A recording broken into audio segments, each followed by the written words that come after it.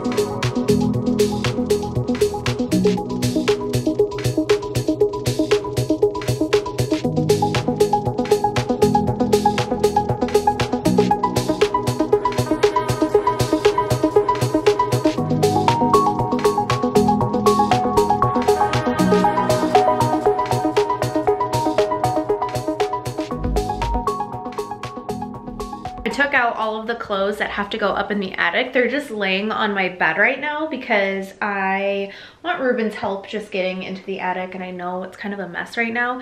So I just need his help getting a bin, all that kind of stuff. Um, and then I took all of the boxes that were here, broke them down and hung up all of the clothes that were in the boxes for my clothing haul. Put them in the closet, I showed you that. This right here is all garbage and like recycling right here. That box back there is returns for Zara, returns for QVC, returns for Revolve. So those are just my returns, garbage. And over here, I have just makeup that I need to sort and put away. All of those bins. I've got some Hot Tools that I just got in the mail. And then I already explained those. Those are just bins of more makeup and skincare and hair care that I need to go through and put away. So I still have to do this. It's all organized in its own categories. This one actually needs to go over here and this needs to go here.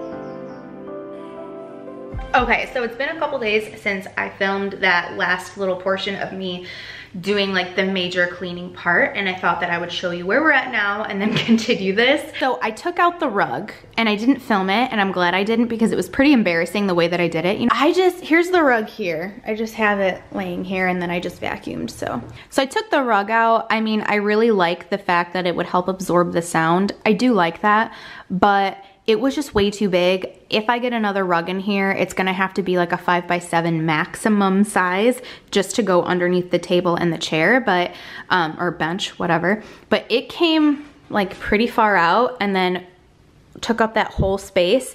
So I mean, it was nice because all of my equipment was on it and it was fine, but it was just, I don't know, it was cramping my style. So I took it out and it feels really fresh and clean in here. I do still need to get blinds. We just have the paper ones because window treatments are expensive. So if you have a recommendation for curtains or like curtain panels, I just want like a rod on the top, either a black rod or a wooden rod with white, like, I don't know if I want them to be linen or what, but just like just nice white curtains, nothing sheer, so that when I am filming, I can draw those shut if I need to, if I want. So over here, I have my tripod. That white bin has like storage stuff. The top one is a gift. And then these are all like makeup bags that I'm not using. And then I think that's like a wedding planner, which I should actually utilize because I'm awful at wedding planning. So I haven't really touched all of this. All I pretty much worked on in here was the room and the space in here and getting all of this cleared out. So here is mainly what I'm focusing on today. And once I go through this and this is all set, then I can go through this and put this in this. Let's go. I use a lot of these lipsticks right here and in this section, but the stuff back here, I don't even know what's back here. I use this top drawer and this drawer, and then the rest, I think I kind of like dibble dabble in there. So we're gonna go through all of this now and see what's uh, what I'm gonna keep, what I'm gonna toss because it's expired, and what gets donated to someone else. And I just grabbed that empty box that had the shoes in it. I'm gonna put this here on the ground. So anything that's like used that I'm gonna give to friends, I'll just put here in this box. And then I've got another one here that I can put like trash in or um, like expired lipsticks in. See like these are all YSL lipsticks. I don't have a hoarding problem. I actually have a throwaway problem. I love just like getting rid of stuff, donating stuff, and not having a lot of stuff in the house. But this this is nostalgic to me. This is like, I have a feeling when I'm, when I'm looking at this. All the YSL is just gonna get saved for last.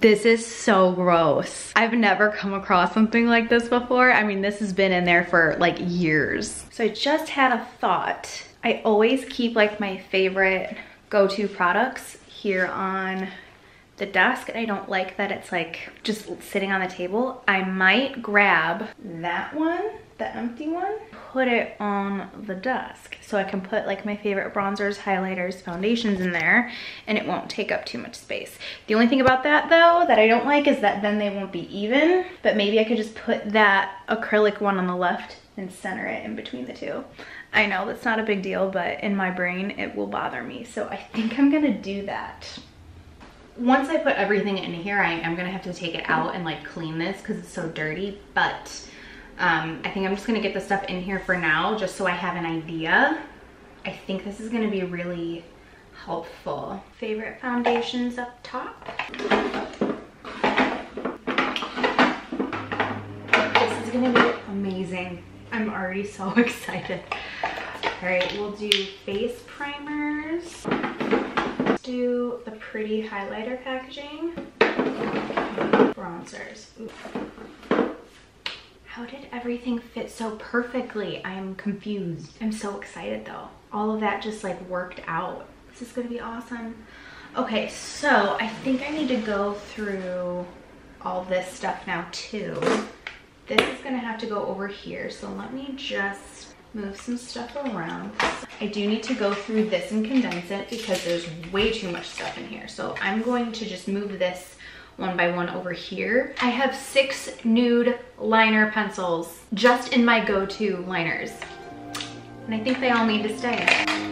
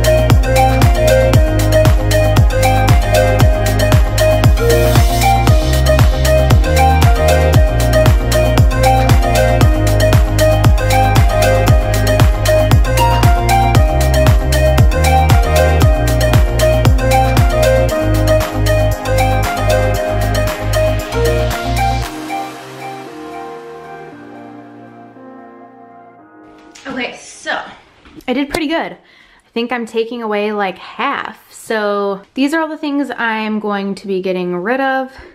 Pretty much it's either I don't like the product or the color isn't right. So a lot of these, it's the color with the concealer. I had like three different Tarte Shape Tapes all in different shades. Same with the Makeup Forever one. I actually recently got this and it's like so yellow for my skin. Um, and then I had the exact opposite effect with these ColourPop concealers. They're so light. Look at them in comparison to everything else. They're so much lighter and more pink. Um, I had two of these um, Luminous Silk foundations. I have two of these Hourglass Veil powders and I really don't like them. They make me look too oily. I had like three Born This Way foundations. Um, I decided I really don't like the NARS foundation. This is, you know, I might, mm, I might keep this. He, I use him every now and then, like every now and then. Um, yeah, these I didn't like. Amanda will actually really like those. I know she loves that uh, foundation. Um, so then over here, I'm keeping this, I actually already have one of these over on the desk in the lighter shade. This is the darker shade. I have two Anastasia foundations here and I do have one over there. I'm keeping three of this foundation just because I think it's one of my top like three foundations ever. So it can stay. And then just like a bunch of random ones. I have um, two Born This Way regular foundations, one Born This Way matte, uh, Tarte Double Duty Foundation. I've got a La Mer Tinted Moisturizer. I've got Luminous Silk, Lasting Silk, and the Power Fabric Foundation from Giorgio Armani. I have the uh, Chanel Vita Lumiere Aqua Foundation. Um, Maybelline Matte and Poreless, YSL All Hours Foundation, Shiseido Foundation, and then two of the Bare Minerals Bare Pro Foundations, one in shade 9 and one in shade 11. A backup concealer of my Maybelline Instant Age Rewind. I've got my Bare Minerals Matte and Bare Minerals Original, and then these are the concealers that I'm keeping. Um, I'm not going to name them all. You can just take a look. These are some of my favorites. I also have other favorites over on the vanity there, or desk, whatever. And then these are some powders. So this is a backup of the translucent powder from Laura Mercier, which is my favorite. And then these are three other powders that I try from time to time. These are sponges, which I have more that I need to bring over here. I never use sponges, but I feel like I need to keep them just because. Like, what if I randomly want to use a sponge? Where did I put those? I just shoved the sponges back there because I've just never ever used them. This is everything I'm giving away here both of these box, or I guess that's three boxes. Um, this plastic bag, this case here, those flat irons and curling irons, and that little white thing thing. That's all the garbage. The only bin in here that I'm keeping full of stuff is that one, and it will go on the shelf that will go in there. This is empty. It's gonna go downstairs with all of this stuff. I should actually transfer that stuff into here.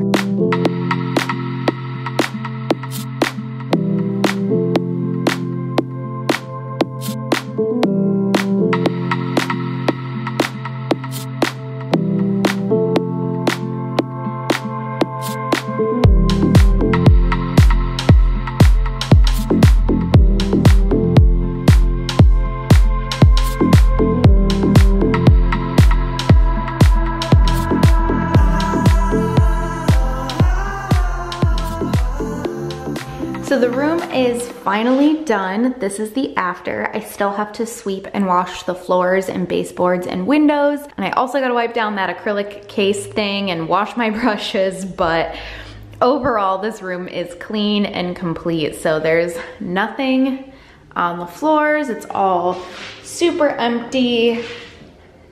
I'm in love with just how empty it is in here because I feel like this space gets really cluttered very easily. Um, not even very easily, it just automatically gets full of makeup when I film. So having just an empty space around me makes it still feel clean even when it's messy. So I'm gonna go over what I have here on my table. I'm also gonna share my equipment just because I know you guys are gonna ask and I know you're gonna be wondering about it. Um, I'm gonna actually start with this mat because I've posted this room on Instagram stories multiple times and every single time the number one question I get is what is this? What's it used for and where can you get it? Which I was just surprised that you guys were even that interested in it. Um, this is basically a reflector. So when the lights are on, it will bounce light off of this and put the light underneath my chin so I don't have a shadow under my chin. Um, it also kind of diffuses the sound when I put products down since my microphone is right here. So you can get professional ones on Amazon or any camera store, but I actually, mine is not that. This is actually a snow, what's it called? This goes on your windshield these go around your mirrors so that when it snows, you can just take this off so you don't have to like shovel the snow. It does the same trick as a regular reflector. So that's what I have. I'll actually link this below along with like normal ones. You don't need the one that I have, um, but that's just the one I have. And then uh, my table is from the At Home store. This is from, uh, I think Wayfair. It's a piece of crap don't get it. Table is great, very great, and it's a dupe for one from, I think, Pottery Barn, but for a fraction of the price. But this is a piece of shit. I really wanna replace it. Um, this was a gift from NYX. You could probably find it on Amazon. I'll link something similar. Mira's from Amazon. Those organizers are from Amazon. And all of my lighting you can get on Amazon too, actually. Actually, all of my equipment you can. So these lights here, the pack of these two square softbox lights, you can get, I think, for like $70 total. Um, they're just, make sure you get the daylight bulbs and then the ring light, um, it's just a Diva ring light. I'll link that too. This was probably my most expensive light. This lights up the background of the videos. And then the stand is also from Amazon. And then the TV, so I get a lot of questions on why I have a TV in here. My specific camera does not have a viewfinder, so I have to use a TV. Um, but it's so obnoxious and I don't like it actually. I've hated it ever since I got it just because my previous camera had a flip out screen and I liked that just because it didn't distract me. This distracts me and it like covers up the window and I just don't like it. So they do have some that are smaller that I know I could hook up top to the camera. I just have to find one. So if you are a camera guru and you know all about that stuff, please recommend one to me because that screen is just so obnoxious and I, I don't like it.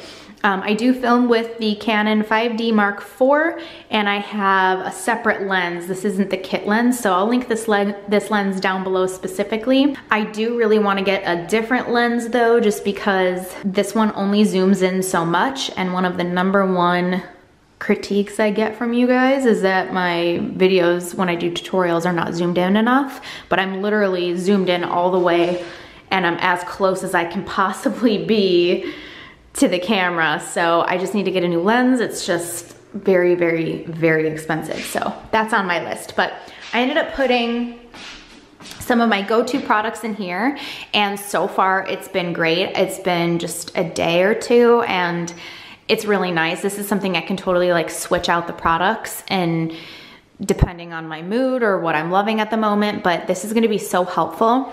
Got my microphone here, my mirror, and then my remote, and then these are all of my like go-to brushes.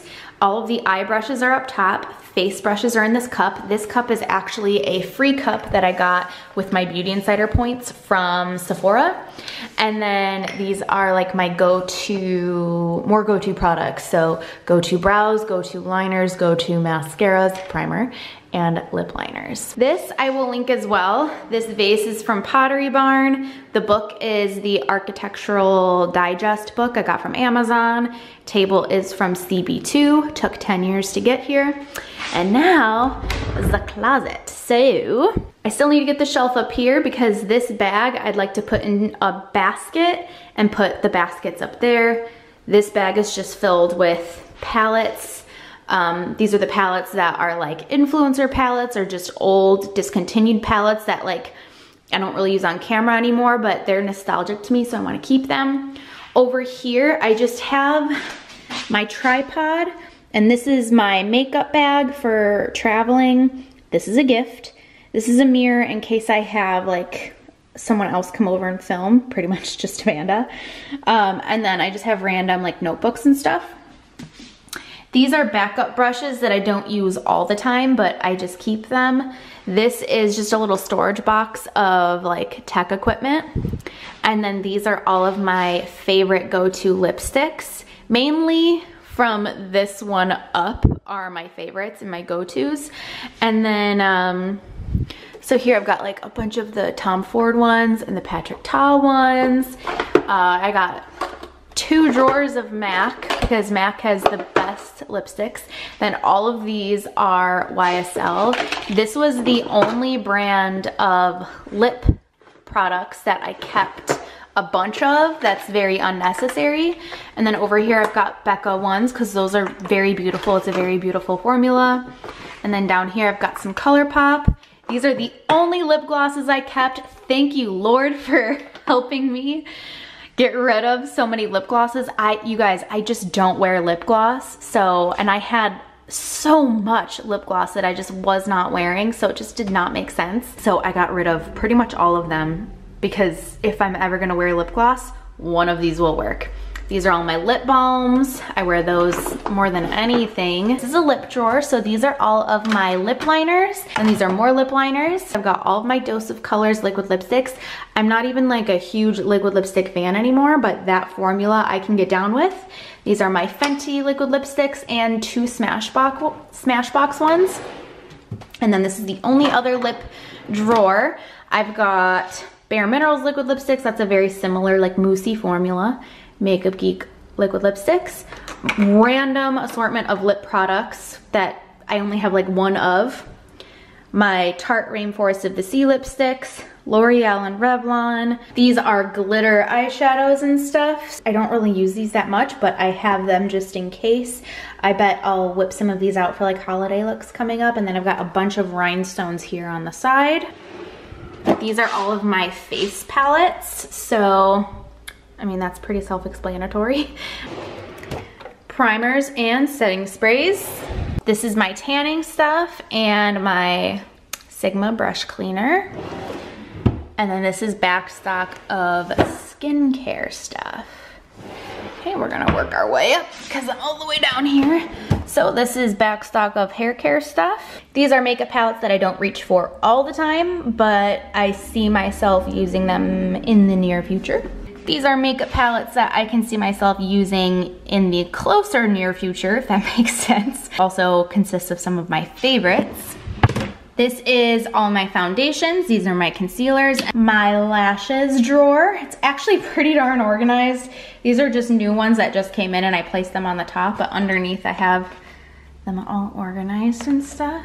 Probably the drawer I go to the most because it has a lot of my go-to products. So extra mascaras and brow products. I like switching out my brow products and trying different things. So that's what this is. And then these are different like moisturizers and stuff like that. This is all of my bronzer. These are all blushes. And lastly, certain, certainly not least, these are all of my highlighters.